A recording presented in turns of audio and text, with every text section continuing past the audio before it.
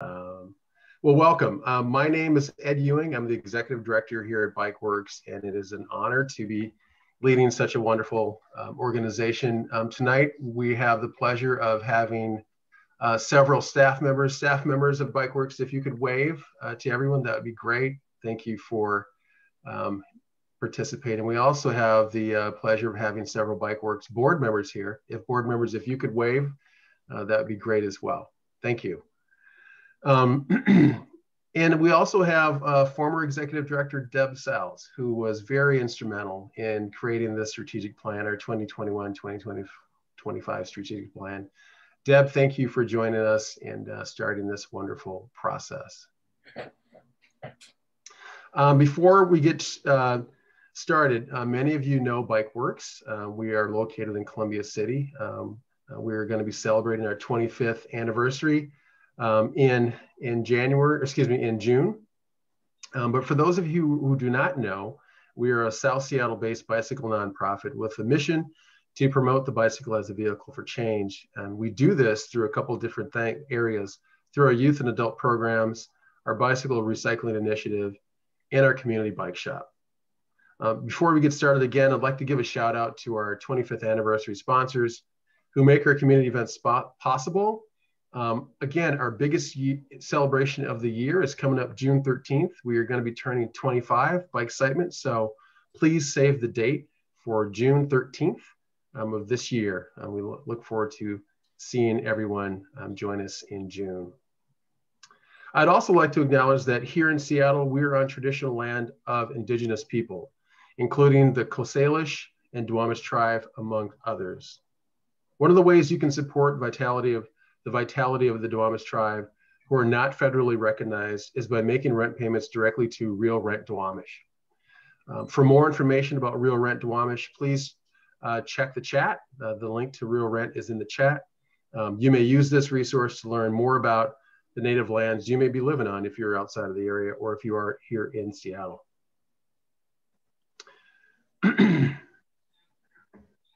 you're welcome to share questions and comments tonight um, in the chat throughout the evening. We will try, we'll do our best to get to all, um, but please uh, keep in mind, um, again, if um, the notes from the breakout sessions and um, questions will be shared in a follow-up email. We'll be monitoring the chat box as we go. We have two breakout sessions this evening, and we're asking that when you are in the breakout sessions that you follow the group norms, the group discussion norms. Um, your breakout sessions will be facilitated by a BikeWorks board member and a BikeWorks staff member, uh, facilitated and also taking notes.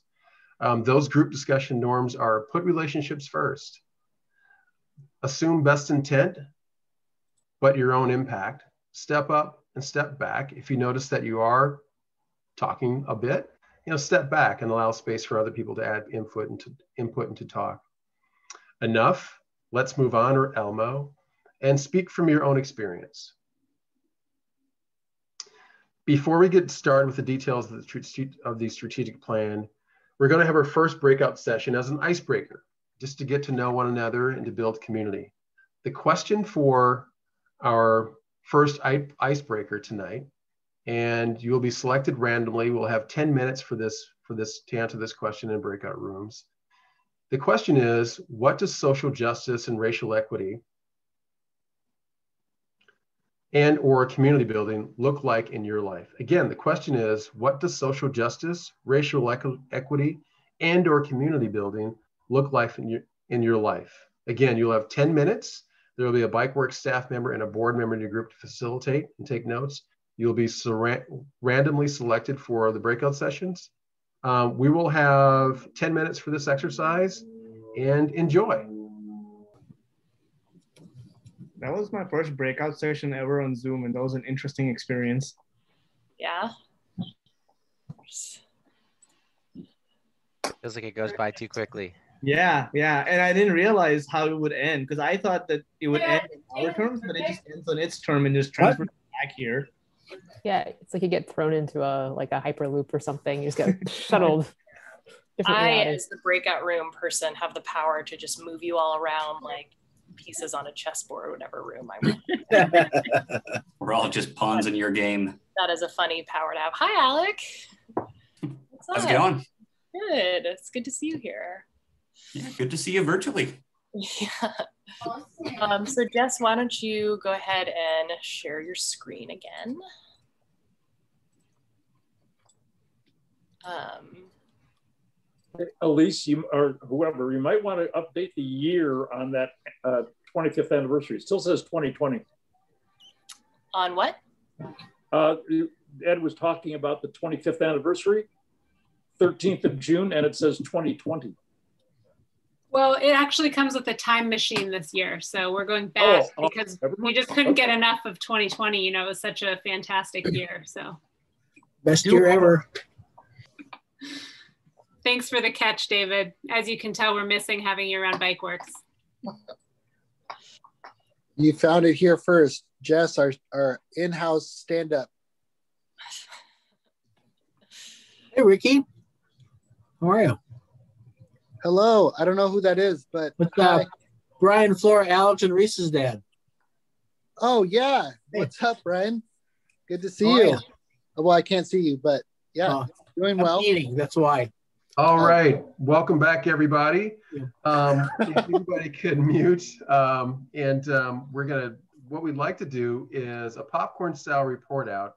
If three or four groups um, in tonight could take 20 seconds and volunteer to report out on some themes or highlights from your group discussion. Again, please be mindful of time and our group norms. Um, you are also welcome to put your group highlights in the chat. So would any group like to share key highlights and themes from your group discussion? Again, uh, in 20 minutes, and excuse me, in 20 seconds? Yeah, this is Joel. Um, I'd be willing to share for my group. I believe we're breakout group number one. Um, so 20 seconds, here we go. Uh, what does social justice, racial equity, and community building look like in your life? We have engaging from the onset, uh, not talking about communities, but talking with and for, advocating on behalf of communities. Uh, it looks like inclusion. Um, too much falls short from, too many of these opportunities fall short from including people uh, finding balance for youth autonomy, uh, as well as understanding who has access to organizations and people and who's making decisions. Um, yeah, that, I think that is my time. Thank you, Joel. Who else would like to share?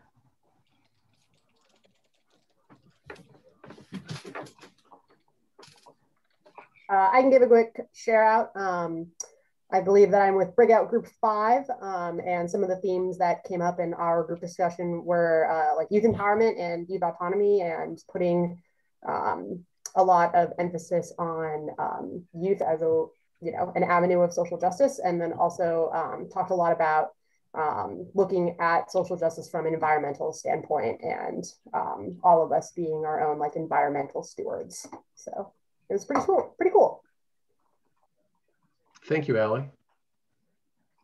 Who else? Anyone else? We have maybe two more groups would like to share in 20 seconds or less. Um, this is Jean. Uh, Siobhan and I led, I think it was Breakout 3. Not sure about that.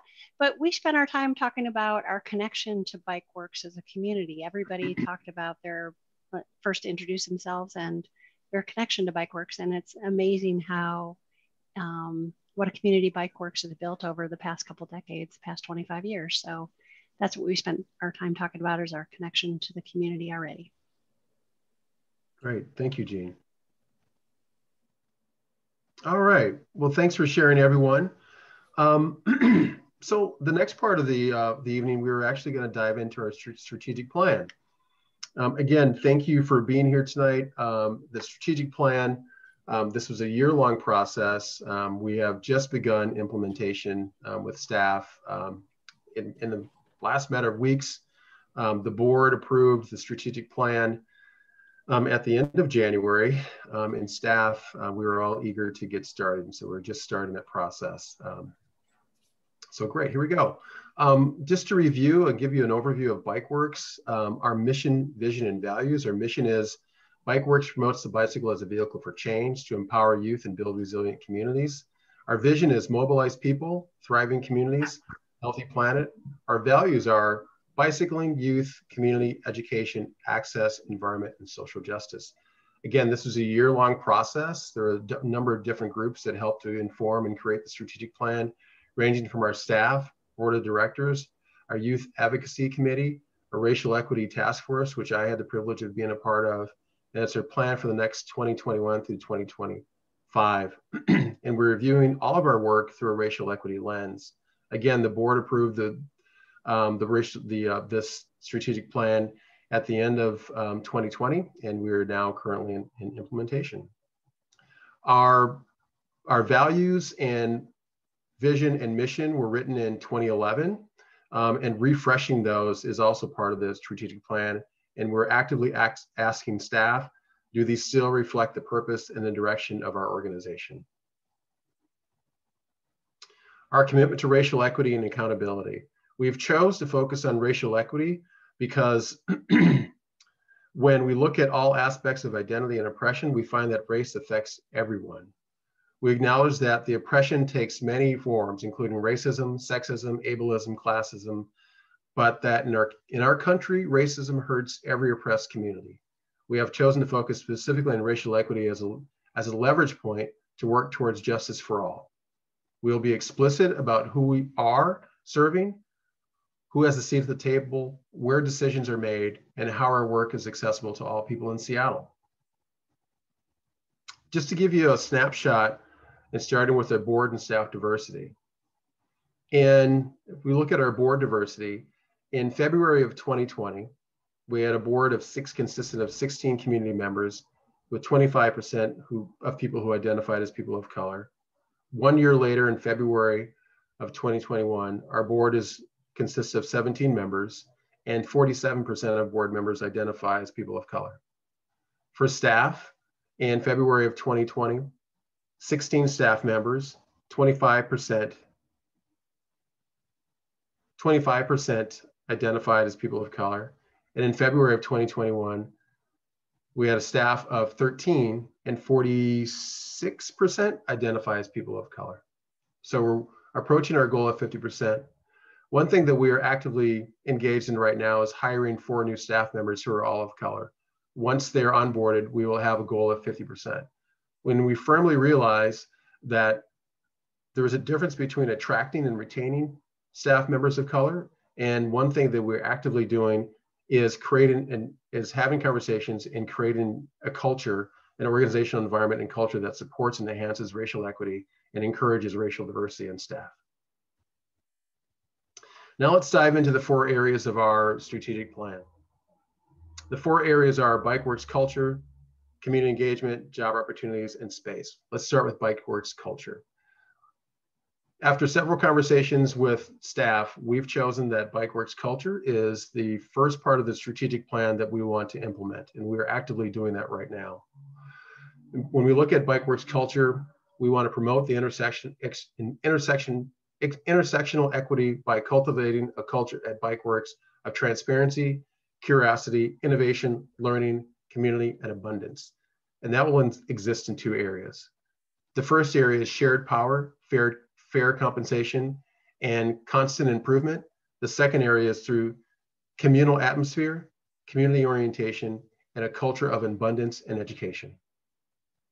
The second aspect of our, of our strategic plan is community engagement. In community engagement, we will actively engage neighbors and partner organizations to share resources and build stronger communities. And that ranges from expanding our engagement strategy to make organizational resources accessible to all, to develop an extended sense of ownership of BikeWorks within our community, and establish organizational positions that will focus on community engagement efforts. The third part of our strategic plan is job access or access to job opportunities.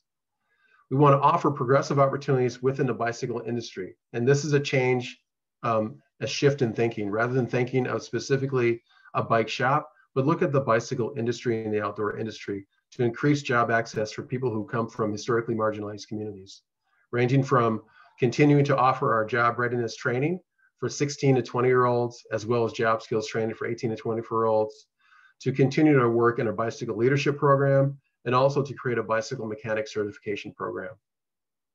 The fourth aspect of our strategic plan is our space we're outgrowing our space.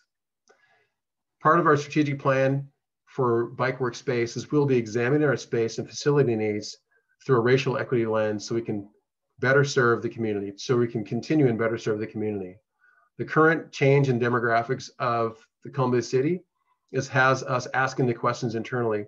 How do we continue to serve our our community, the diverse community that we initially were serving? We, we're, we're recognizing that a lot of the diverse clientele and the clientele that is in need of our services is moving further south. So we're examining how do we do that through partnerships, through pop-up shops, through additional bike mobiles. Um, we will be actively engaging the community in this conversation. Now it's time for our second, our second, um, our second breakout rooms. We'll have a little more time now. We'll take 20 minutes to talk about our strategic plan in your individual groups. And there's three questions that we'd like you to focus on. One is what excites you about this strategic plan? Number two is what questions does this raise for you? And number three is how does this plan intersect with your goals and visions for the community? Again, we'll have 20 minutes. You'll have a BikeWorks board member and staff member to help facilitate and take notes. Again, the questions are what excites you about this strategic plan? What questions does this raise for you? And how does, how does this plan intersect with your goal, goals, and visions for the community? All right, we're going to jump into to breakout rooms. If this is your second time in a breakout room, please enjoy. Um, have fun, ask questions, and please be mindful of our group norms, step up, step back, share from your own personal perspective, and follow the, the Bike Works group norms. All right, we'll see you back here in 20 minutes. Welcome back, everybody. We had more to say. Wait. yeah, we also got cut off a little bit too. Welcome back, everyone. Austin, I'm, I'm sorry you got cut off towards the end. And uh, to your question, it would be exciting to work with you and the Boys and Girls Club again. So um, let's let's let's figure it out. Okay, everyone. Um, so for the next um, next several minutes, let's uh, repeat that. Let's do a popcorn style report out with themes and highlights from your groups. Um, or you may also post in the chat um, again, remembering the group norms, put relationships first, assume the best intent, but your own impact, step up, step back, enough, and speak from your own experience. So, um, in 20 seconds or less, could we have three or four? Maybe we can take five groups this time. Um, who would like to start off?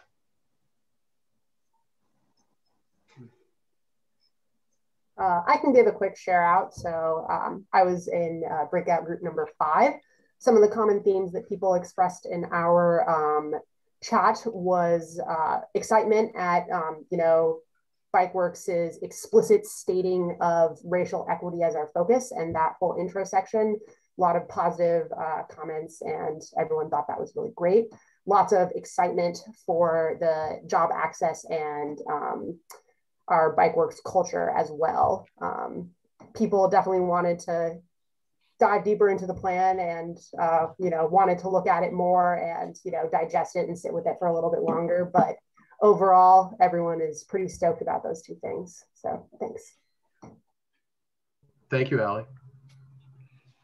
who would like to go next this is alicia i was in break room number eight or breakout room number eight and um, um, we talked about the excitement of the um, the program where the kids will be able to come and learn about how to build bikes or how to work on bikes and, and the development of being in the program and what that's going to do for them.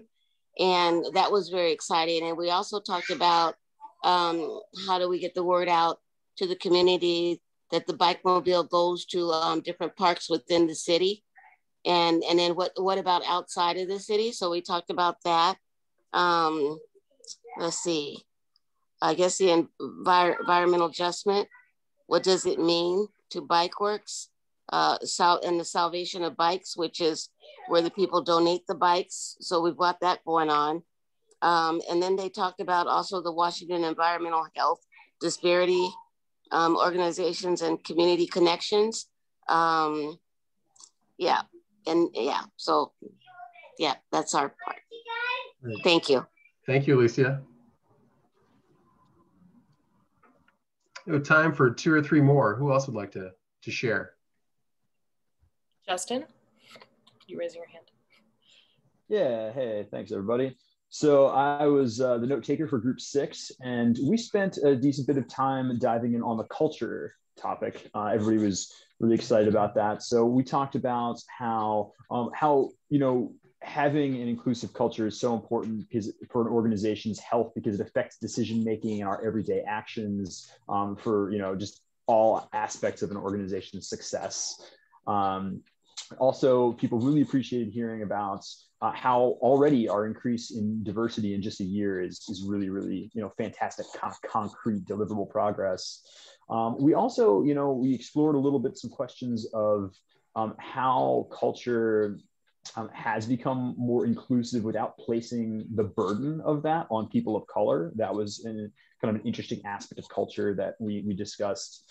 Uh, and then a little bit uh, about how we can connect with um, kind of the activism that really is at the heart of racial equity uh, as an organization, as you know, uh, staff members, board members, and as uh, you know, customers and members members of the community. So it's a really great conversation. Thanks to my group. Great, thanks, Justin. I think we have time for two more. Would, would two more um, groups like to share? I raised my hand. This is Larissa. Um, and we were group seven. We actually, uh, there was some appetite to talk about um, space. So um, we asked the question, what would be ideal for space in the new space in the community? Um, and some of the ideas were, well, a community meeting place. Um, would it make sense uh, to be uh, really focused on the local community, community where our new location will be. Um, we also recognize that things like group rides need a place to meet. And um, to that, we also talked about the bike shop as being a community member itself. Mm-hmm. So um, a, a, place where local uh, community members can use the bike shop and feel as um, a part of it as the local communities um, have felt for decades about the Yellow House.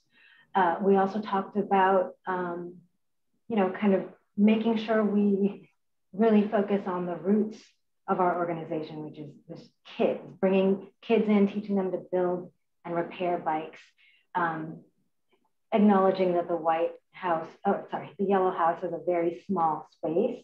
And so let's prioritize in our new space more um, area for um, kids to do that kind of work. Uh, we also talked about uh, reaching the right uh, target communities.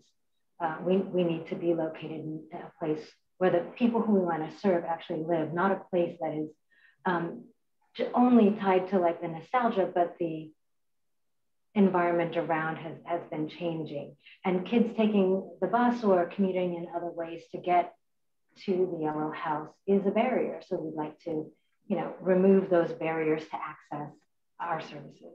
Um, and we, well, we talked about a bunch of other things. So uh, we just reiterated the importance of doing uh, feasibility studies, identify the communities we want to serve, test the validity of our assumptions.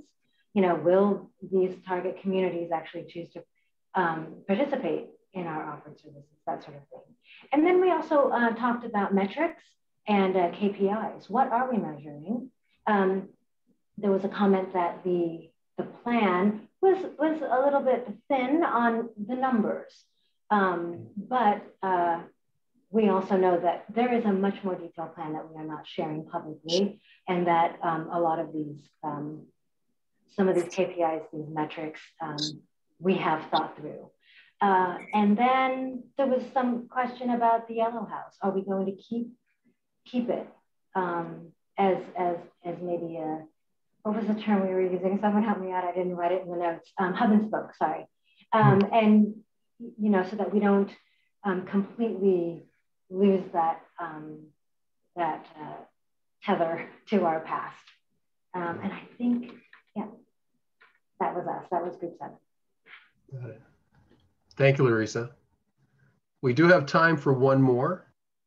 Would someone like to and I can go. This is uh, Ed Yoshida. I wasn't the note taker, but I was in group two, and, and we were talking about the access to job opportunities uh, component of the plan. And a, a couple of like high level points that came out of uh, that conversation we were having was related to the point of the bicycle being a vehicle, but the kind of skills that that youth can get out of the programs that we can have will really or could position them, you know, for for jobs and employment opportunities outside of the bicycle industry per se, right? It could be in transportation, engineering, customer service, retail sales, a lot of other areas, you know, that um, maybe even touch indirectly, but you know, uh, are related to the bicycle, you know, as that vehicle that we're envisioning. Uh, and um, there was an interesting point brought up by Maggie. He's a student and he's participating tonight, and he lives up north in, in Edmonds, and he was saying how while he, as a, a, a bike person, was able to educate himself by going into bike shops and things, that um, his friends of color were really not able or not able to do that as much, right? Given the most bike shops are owned and operated by by white white males typically, right? And, and so they didn't have that kind of opportunity. And so I think, you know, the Bike Works programs, if they're accessible online, would be another aspect and way that that youth that don't live within the Seattle area close to Bike Works maybe could help and be participating in these programs as well, possibly. So Thank you, Ed. Great, thanks everyone. Oh, go ahead. Oh, I was going to say, I saw Tina on screen. Tina, did I miss anything that you wanted to add in? Because you were kind of taking the notes and things. I was, and I was. Um, I'm I'm impressed by by what you you just pulled out of there. That was that was perfect. So thank you, Ed. Okay. Thanks everybody for sharing. Um, we actually have a little additional time, which is great. Um, so now we want to open it up for questions and you can do one of two things is unmute, unmute your mic um, or use the chat. Uh, we really want to engage everyone in, in a Q&A session here um, for the next 10, say 15 minutes. So um, who would like to uh, start? Um, are you just able to go? Sorry. Um, hi, my name is Momoko. I'm the executive director for the Community Cycling Center here in Portland, Oregon. And I'm just, I'm so curious now about this more detailed report and particularly around KPIs, because that's something that I've been thinking about a lot. Um, and um, is that something that at some point in time would become more uh, public or, you know, would somebody possibly like to meet with me and talk more to me about that at some point in time? Yes, happy to do that. And thank you for joining us tonight. I'm very familiar with the uh, Community Cycling Center, and I, I would love to dialogue with you on that. Absolutely. Thank you.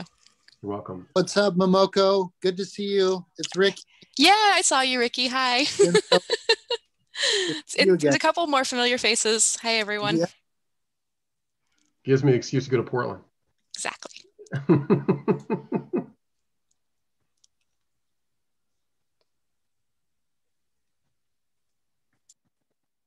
Thank you, Momoko. Well, I would like to share. I did send a message to Larissa. I was really pleased to hear the idea or I guess conversation that was built out in the group discussion around Bike Works as a community space and kind of building on the mission, you know, within that strategic plan to, to kind of foster that community element for youth. I think that right now is just such a great time to be thinking about that. And as you're looking at new spaces or expanding your mobile operations, I think having a, a place where people can also socialize and network in addition to learning the skills available through the, the bike shop is just was really i thought that was a really great point so i just wanted to say thumbs up. Great. Thank you, Teresa.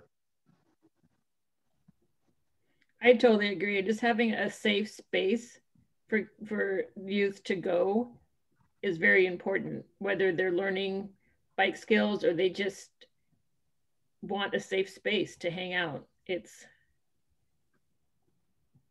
it's a great idea. I would chime in that when we had our big retreat where a lot of this plan was put together, we did kind of do this conceptualizing what a new space might have. And there was definitely like a youth only lounge or kind of hang space in there. And then every group said that the new Bike Works would need its own velodrome or pump track. So I think that there's a lot of appetite for that, especially because um, those of you who've been to the shop know that we're right off Rainier Avenue South. So when we send people out on test rides, we're like, take a left, don't go right. Um, so I think the dream would be that there's a pump track to to ride on and uh, safely offer test rides to customers. Just this is dreaming big. This is definitely uh, for the future. Hey, Ed, um, I was looking through the, some of the chat. One uh, participant is asking the question of how was the strategic plan created and what was the process? You want to just give a couple minute summary of that to let people know how it was done? Yeah, sure, absolutely. Great, great, great question. Um, the it was a year long process and it was facilitated by an organization called Beloved Community. Uh, they're out of New Orleans, and um, there was um, a couple different groups that were interviewed and over the course of a year. Um, there was a racial equity task force that was created specifically for this process. Um, our youth advisory council, um, the board of directors, and current staff. And again, all four of these groups were engaged um, uh, for a year. Um, one thing that struck me by this process um, was when um, is that the feedback from the Racial Equity Committee um, created a racial equity plan, um, and that plan was integrated into the overall strategic plan. So everything that the strategic plan was was was detailed was viewed through a racial equity lens, and that's one thing that really kind of intrigued me. Um, oftentimes, you'll have a racial equity plan and a strategic plan, and they live separately. But with this bike work plans, they're integrated um, as one. So again, anything and everything that we are doing, we're looking at through a racial equity lens. Um, as a community member, um, being a part of the racial equity task force, um, we were actually paid for our time and for our participation. That's one thing that also is very unique to this plan is that um, community members um, who are experts in their communities and who are have valuable um, um, information and relationships and experience in the community, um, that time and those relationships and that expertise has value.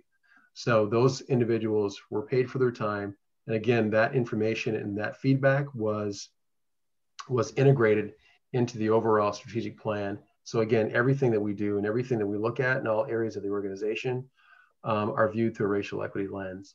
Um, someone asked about metrics and, and, um, and reporting and accountability um, we will be coming out with we will be coming out with um, specific metrics that we will be reported on. We haven't determined the frequency, if that's quarterly or if it's you know every half year um, or yearly, but that is part of the accountability that holds us as an organization accountable for what we say we're going to do. So um, um, again, it was a year-long process. Um, it was extremely thorough. Um, we still have access to beloved community um, for because part of their philosophy is not just to do the planning, but also to assist in the implementation. One thing that we also notice is that when we engage the community in the racial equity task force, um, some of those members of the task force became, um, some of those members of the task force became board members. And so we actually were, had a very authentic and thorough process to, to identify community members and, and invite them to be part of our overall leadership, which again builds accountability, um, increases authenticity of our plan, and helps center us in all the work that we're doing and make sure that we are aligned with community goals. Is that helpful? And please, if there's any staff like Tina um, or, or Jess or, or, um, or Allie, if anyone else wants to add the perspective, please do so. Bill, did you want to ask your question? Uh, yeah, sure. Um, yeah, the mission takes money. So I was wondering, um, have you guys thought about, or do you have any idea of, of what, um, how the financial support for Bike Works needs to evolve over the span of the strategic plan to support the mission? Yeah, that's that's a great question. Um, and 2020, um, as we all know, was was very very difficult. And um, we are very fortunate to receive our first PPP loan. Um, we've applied again, um, but having bike works or bike shops being deemed an essential business um, and bike bikes being deemed an essential outdoor safe act activity during COVID, um, it really helped um, drive sort of business. And we all know that the, the bike business, bike world has just exploded. Um, so we're very, very well positioned, and hopefully that bikes will still be and bike shops will still be deemed an essential um, um, essential business. Um, what we are looking at as far as growing and diversifying our funding is we're looking at growing through partnerships. Um, there is a lot of um, interest in racial equity and, and, social justice right now, and Bike Works is perfectly placed. Um, and we're also perfectly placed to, to engage other partners in the community not only regarding around funding, but also re regarding um, um, sharing resources. Um, one big thing that we're looking at as part of the strategic plan is is regarding the space, and that does take money. It may take a capital campaign if we choose to move. Um, and so, once again, if that is the case, we'll be sourcing and engaging the community in that process um, and asking us to lead. You know, perhaps we do need a, a capital campaign, but we will looking to the community for guidance on that. So um, your your question is um, is ex extremely important. Um, we are very very well positioned um, um, through additional through existing resources and additional resources in the community to to actualize this strategic plan financially as well. Thank you.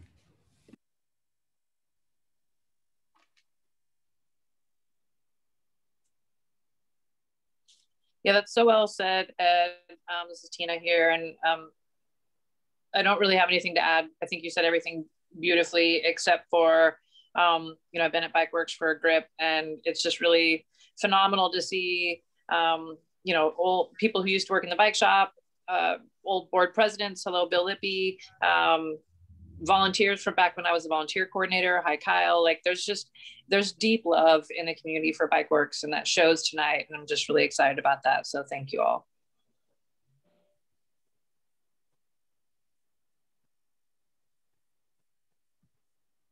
Thank you, Tina.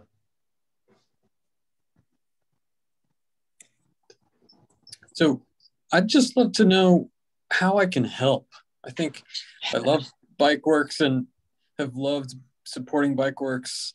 Um, you know, to be perfectly honest and fair, I'm part of a bike club that's very, very white, and uh, I'd love it to be more diverse. I'd love to figure out how to help the cycling community be more diverse and how to bring more diverse folks to cycling.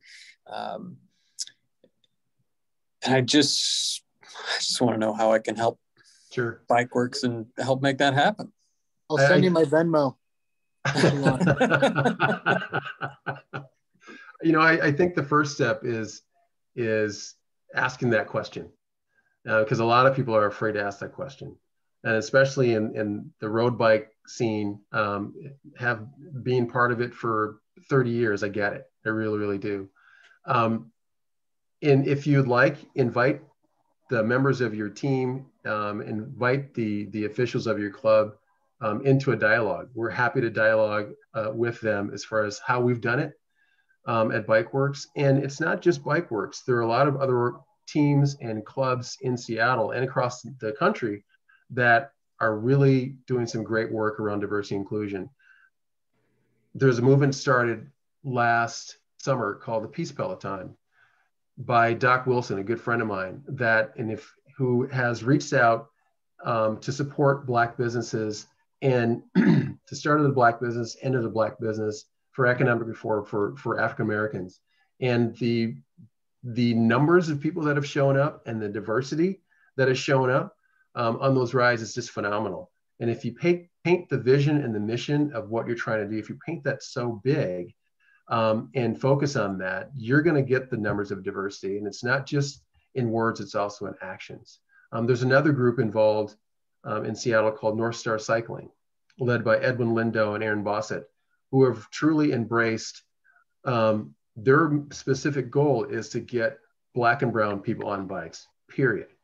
And the rides um, are, are drawing anywhere from 40 to 60 people who just want to ride bikes with people who look like them, um, who just want to ride bikes and get out in the community. And if you're if it's an all white um, or predominantly white team, is to really ask ask yourself, um, ask yourself and understand and know the why. Why are you trying to do this? What about this is important for you? And then really be a stand for that because, and also know that you don't have to do it alone. There's a lot of teams, a lot of clubs here in Seattle, in the Northwest, and across the country that are that are not just embracing diversity, they're doing something about it. They're actively doing it. They're going out having conversations. They're being vulnerable. They're realizing that the road racing scene is not very diverse. Um, USA Cycling is also part of that part of that community and part of that conversation. Um, but there are ways to do it, and then also um, be patient because it takes time because um, it's relational and you have to be very authentic. If you're not authentic about it and creating a team culture that invites, attracts, and retains um, writers of color and diversity of writers, it's not going to work. So very be very planful, be very authentic, be very deliberate, and give itself some time because it, it's it's based on relationships. So happy to, um, you, you know where to find me at Bike Works. Happy to entertain that conversation. Um, maybe it's a sit down meeting at Bike Works and we can talk about that. Um, but um, it's possible, and it starts with the with the with the question that you just asked. And Ed, if I could just jump in real quick. Hey, this is Justin Resnick, uh, another member of a predominantly white male cycling team in the Seattle area. So uh, totally understand the question and can relate to that. And, uh, you know, one thing that I think we put out, uh, I'm a Bike Works board member as well. Um, so one thing the organization shared recently and a Space Cadet Racing member, thank you, Alec, is uh, we are collecting uh, bikes and bike parts specifically for North Star Cycling as well as for bike works generally. So, you know, to those of us from you know uh, racing teams with lots of really really nice bikes and lots of pretty nice stuff that we replace from time to time that still has some some life left in it. There are definitely uh, great things that we can do to support our community with those uh, those materials. So you know find a time to drop them off down to the shop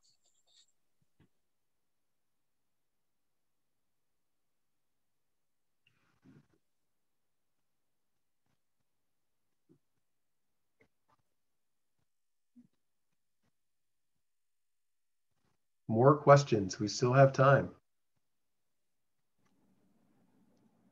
I have a question. Uh, hi there. Hi, Annika. How are you? I'm great. I'm so glad to be part of this conversation. Um, Thank you for being here. So yeah, so I wanted to just jump back a few questions and just find out more about how you see, you know, youth leadership and youth contributions through the um, implementation of the plan. You know, somebody said earlier, you know, youth are really the heart and soul of Bike Works. And just wondering, you know, as this implementation rolls forward, how do you see kind of doing that, um, that uh, verification or kind of cross-checking with your core constituency, um, you know, both youth who are in the programs and then other, you know, potential sort of youth youth who might be part of the programs as maybe, uh, you know, geographic reach expands or other things um, you know, other things grow and change for the organization. Got it. Uh, Ricky, Tina, or jo Joelle, would you like to jump in and share your perspective?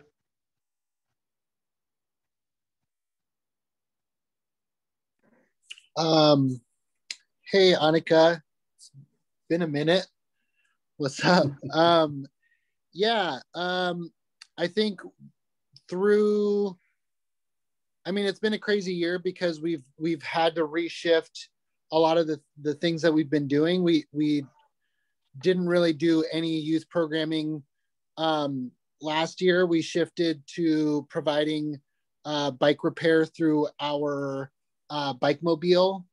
Um, we were providing free bike repair for low income families, primarily BIPOC uh, youth and um, trans femme folks. Um, and so we have been trying to kind of like keep tabs on um, on young people through um, we've been we've been trying to keep tabs on young people digitally or like virtually but it's really hard with um, with like zoom fatigue and all that stuff. Um, so this year we're really trying to ramp back up to um, that youth engagement. Um, hopefully with covid we get to do that stuff actually in person um, as uh, the guidelines soften and and we're able to kind of actually have in-person programming.